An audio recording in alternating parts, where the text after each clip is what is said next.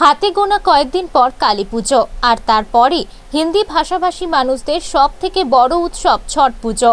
আর এই ছট পুজোয় কয়েক হাজার মানুষের সমাগম হয় পূর্ব বর্ধমান জেলার বর্ধমান শহর সংলগ্ন সদরঘাটে। শুক্রবার ওই স্থান প্রথম পর্যায়ে পরিদর্শনে যান বর্ধমান দক্ষিণ বিধানসভার বিধায়ক খোকন দাস। জেলা police super come on Ashis Sen Bardhaman থানার আইসি সুখময় চক্রবর্তী বর্ধমান পুরসভার আধিকারিক সহ স্থানীয় কাউন্সিলর ও অন্যান্য প্রশাসনিক আধিকারিক বৃন্দ। নমস্কার আনন্দ বার্তায় আপনাদের স্বাগত। আপনাদের নিউজ দেখার পর একটা লাইক এবং একটা শেয়ার করুন। ভালো ভালো নিউজ দেখতে পেজটি লাইক করে দিন।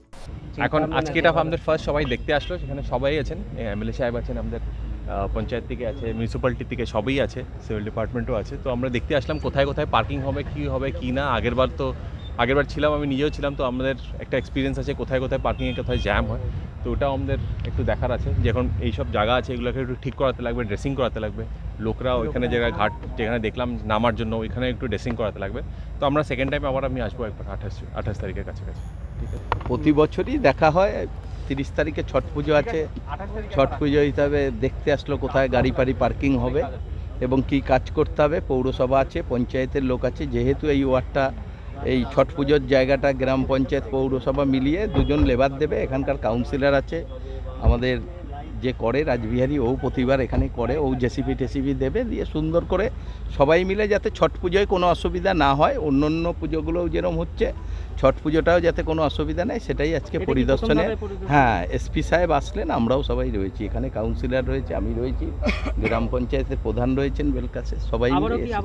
আবার আসবে এসপি সাহেব বলল পরে সাতাশ আঠাশ তারিখ করে আবার আসবে। যেভাবে হয় সেভাবে সেভাবেই হবে এবার তো দু বছর করোনার জন্য একটু অসুবিধা হয়েছে এবার গাড়ি ঘোড়া বেশি হবে, যার জন্য এবার বেশি করে পার্কিংয়ের জায়গা চাই, সেটাই দেখতে আসছি। প্রতি বছরের ন্যায় এবছরও একইভাবে ছট পুজো হবে বলে জানান জেলার পুলিশ সুপার। বিধায়ক খোকন দাস জানান, প্রচুর মানুষের সমাগম ঘটে ওই সময়। যাতে ভক্তদের কোনো অসুবিধা না হয়, তার জন্য সমস্ত ব্যবস্থা গ্রহণ করা হবে।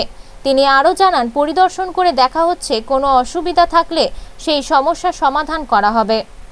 কে আমাদের এসপি স্যার এসেছিলেন, আমাদের এমএলএ স্যার, খোকন দাস মহাশয় এসেছিলেন, সবই পুলিশের অধিকারী প্রশাসনের অধিকারীকে সবাইরাই এসেছিলেন আজকে দেখতে, পৌরসভা থেকে এসেছিলেন সেক্রেটারি স্যার। সবাই দেখে এখানে কী রকম, কী পজিশনে গাড়ি দাঁড় করানো হবে, আগের তুলনায় অনেক আরও গাড়ি আসবে, সেই সব নিয়ে আগাম থেকে চিন্তাভাবনা স্যারেরা করছেন, আমরা ছট পুজো কমিটিকে আমাদের ডেকে কীভাবে কি হবে, আমাদের থেকে জিজ্ঞেস করলেন কি, কোথায় করলে কি ঠিক হবে, না হবে, এইসব নিয়ে আজকে প্রথমবারের জন্য আজকে আলোচনা আরম্ভ হলো। বর্ধমান থেকে পিন্টু প্যাটেল ও টিঙ্কু সাউয়ের রিপোর্ট, আনন্দ বার্তা।